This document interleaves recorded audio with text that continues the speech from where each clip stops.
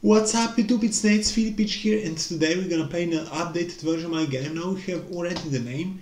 The name is gonna be called Follow Me. So it follows your mouse and it's Follow Me.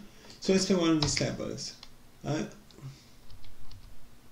so first off guys, um, these are the lasers. So this is enemy, it's rotating so now it's enemy.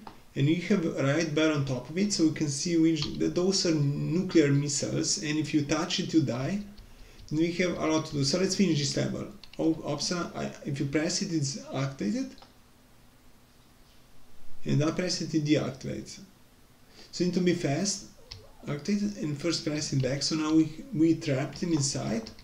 We're gonna collect these bullets. You have 40 on top of it, they says takes 40. We're gonna destroy these walls.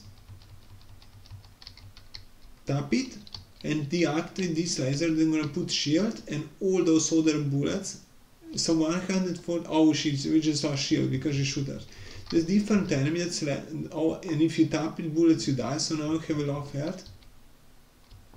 And I'm gonna destroy all these charges easy as it is.